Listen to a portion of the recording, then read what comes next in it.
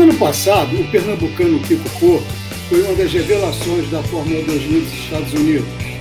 Esse ano ele vai para sua segunda temporada na categoria e começou com o pé direito. Ele obteve o segundo melhor tempo da pré-temporada, realizado a semana passada no Barber Motorsport, a mesma pista em que no dia 17 deste mês vai se iniciar o campeonato. Kiko, bem-vindo. Tudo pronto para essa reestreia?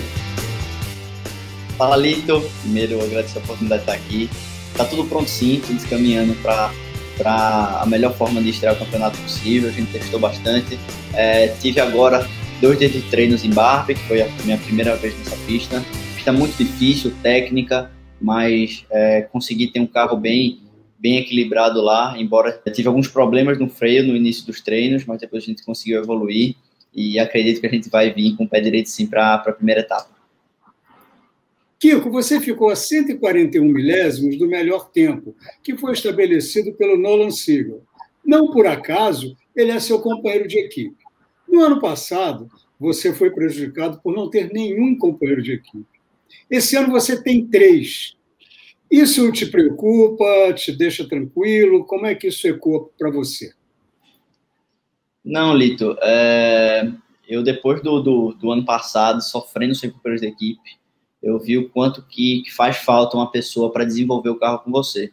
E ter duas pessoas boas, experientes ao meu lado, eu acho que é algo muito mais prazeroso, porque, é como eu sempre digo, eu prefiro muito mais dois pilotos rápidos do meu lado, mas a gente se ajudando para se destacar do grid do que ter, sei lá, sete pessoas é, andando no mesmo tempo. Então, são, são duas pessoas muito gente fina, o Nolan e o, e o Prescott, meus companheiros, é, e são duas pessoas que eu tenho certeza que esse ano só vão agregar para a gente.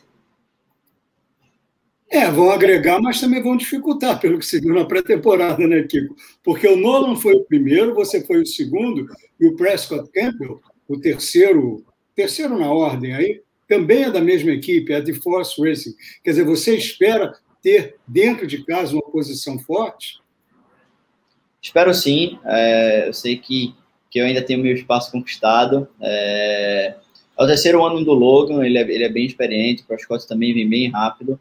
É, eu sei que vão ser mais, mais alguns concorrentes, mas a gente tá. Se a gente gosta de corrida, a gente gosta de concorrência e a gente veio para isso. Vamos lutar com tudo que a gente tem para conseguir, conseguir vitórias e, se Deus quiser, ser campeão. E nessa próxima, nessa primeira, primeira etapa, no, outro, no próximo fim de semana, dia 17, né? É, o que, que você espera? Porque você teve problemas de freios. Você podia detalhar como é que foram esses problemas e o que, que você espera é, em termos de ganho corrigindo isso? E o que aconteceu foi que o, o freio estava tava com muita pressão nos freios traseiros. Isso até a gente demorou para entender porque estava muito parecendo um acerto de carro, como se o carro tivesse só traseiro. Mas com o tempo, quando a gente foi analisar, a gente viu que toda vez que eu acionava o freio, balançava, mas era porque o freio traseiro estava acionando muito. A gente fez uma troca no master cylinder, que a gente chama, que é o tanto de, de óleo que vai para os freios e, e de pressão. Melhorou muito mais, eu consegui ter uma freada muito mais sólida, muito mais reta, e isso também no brake release, que é o time que eu vou tirando o pé do freio. O carro não balançava tanto, mas a gente ainda tinha esse problema, tanto é que a gente analisando os onboards, a gente via que assim que eu acionava o freio, ainda quicava atrás como se tivesse um início de, tra de travar, é, mas o maior problema a gente já passou. Agora é só mais entender é, para que lado a gente pode caminhar de ajuste fino para que a gente tenha um freio 100%, já que essa pista, o tempo inteiro a gente usa freio, não tem tantas freadas fortes, mas tem uns S de alta que a gente precisa dar uma apoiadinha no freio, e se a gente tiver um freio instável, isso vai me custar bastante, que foi o caso que aconteceu nos primeiros treinos. Você, no cockpit, você tem a, a alavanca para o brake balance, o, a distribuição de freios, para jogar mais para frente ou mais para trás? Tenho, tenho sim, é, mas isso era uma coisa muito mais de acerto estático é, da base do freio. Eu até consegui mexer ali, só que não mudava muito, já que não se tratava tanto de balanço, e sim o quanto de óleo era transferido para o disco de freio. Então é como, de uma forma bruta, é como se o freio traseiro tivesse um disco maior que o dianteiro. Era quase um, uma atuação onde o traseiro estava atuando mais que o dianteiro, mas não era questão muito de, de balanço, e sim o quanto de óleo era transferido para as pinças de freio.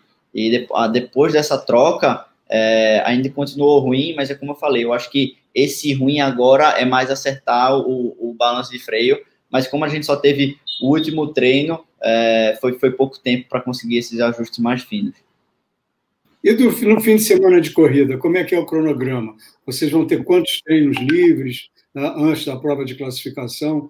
É, na quarta-feira, a gente vai ter um Promuro Test, que ainda estão decidindo se vai ser três ou dois treinos na quarta. Quinta, um treino e as classificações, classificações 1 e 2. Vamos ter três corridas durante esse fim de semana, então vai ser um fim de semana bem puxado. Ainda bem que vai ter esses outros dois treinos aí, vai ser uma coisa que que vai me ajudar bastante, já que eu não tive a oportunidade de testar tanto nessa pista, e é uma pista muito complexa, de, de, de difíceis pontos de ultrapassagem, é uma pista que vai ser muito difícil ultrapassar, então classificação vai ser, vai mandar muito durante o pace do, durante o pace do fim de semana, mas enfim, vai ser um fim de semana puxado, mas é uma pista muito divertida e muito prazerosa de guiar, então vai ser ótimo. Você, o ano passado, a gente estava fazendo aqui o levantamento, você teve uma vitória, você foi quatro vezes ao pódio, duas pole positions e duas melhores voltas. O que você, o que você espera desse fim de semana? É, espero um bom fim de semana. A gente sabe que está com um bom carro. Só que a gente tem que ter cuidado também, porque a Indy vai andar e a borracha da Indy interfere muito no acerto do carro. Isso aconteceu ano passado, que eu tive problemas é, em Mid Ohio, porque a gente acabou, o carro era muito solto, a gente prendeu na hora que chegou a borracha, estava muito preso, e a gente só foi conseguir desenvolver o final do carro para ficar ótimo na terceira corrida. Então, é uma pista que, que anda com pouca pressão aerodinâmica, porque tem longas retas, mas ao mesmo tempo teve curvas de alta, então é uma pista que você tem que sempre estar tá com o pé na frente e o outro atrás para ponderar, porque poucas mudanças já vão fazer um, uma grande diferença no tempo. Bom, e os, os treinos da quarta-feira vocês vão andar antes da Indy, quer dizer, vai ter que projetar um pouco ali como vai estar o asfalto, quer dizer, vai ter que andar mais solto do que andaria normalmente, do que a pista exigiria naquele momento. Exatamente, isso é, um, é algo que acontece sempre. A Indy só começa a treinar na sexta-feira, então até quinta-feira, onde ocorre normalmente o Qualify 1, a gente está com a pista de um jeito, quando a gente já, já vai para o Qualifying 2 e para as corridas já é outra pista. Ninguém nunca quer arriscar muito na corrida se tem um carro bom na classificação, mas ao mesmo tempo a gente sabe que a pista vai estar diferente. É, aí é que entra a experiência, principalmente dos engenheiros. Né? Você continua com o mesmo engenheiro do ano passado? Continuo sim, o engenheiro, inclusive é um dos proprietários da equipe, o Davi, é o cara que eu trabalhei no ano passado e a gente já está se conhecendo há bastante tempo então, acho que a gente já tem uma boa relação de entendimento e, e eles já sabem bem o que eu preciso em certas horas, eu sei normalmente o que ele vai fazer em outras, então a nossa, nossa comunicação está ótima, melhor que nunca para esse ano. E nessa pré-temporada, já deu para ver quem está lá na briga pelo título? Deu sim. É, como eu falei antes, o Nolan, siga o meu companheiro de equipe, terceiro ano dele, ele ele ele tá rápido, é um piloto rápido, sempre foi sempre, sempre teve essa velocidade, tá, é experiente. O Christian Brooks também vem aí, para quem não sabe, o Christian, é, quando eu fui vice-campeão na Fórmula 4 2019, ele ficou em terceiro por dois pontos, então é um cara que eu já tenho uma grande familiaridade com disputas. O Michael de Orlando, eu ainda acho que ele pode aparecer sim, embora nos treinos de barba ele não foi tão bem. É, eu acho que são mais esses. O Prescott, meu outro companheiro aqui, também é rápido, mas não sei se ele vai estar o tempo inteiro lá nessa disputa. Mas eu acho que os principais vai ser o Nolan e o, e o Christian. Kiko, muito obrigado pela tua participação. Vamos deixar aqui combinado. A gente volta a falar depois dessa rodada inicial do campeonato. Tá bom, Lito. Obrigado pela oportunidade. E depois dessa primeira corrida, eu conto para vocês como foram, como é que estava durante todo esse fim de semana.